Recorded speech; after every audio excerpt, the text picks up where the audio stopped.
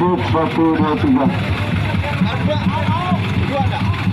Cek satu dua tiga.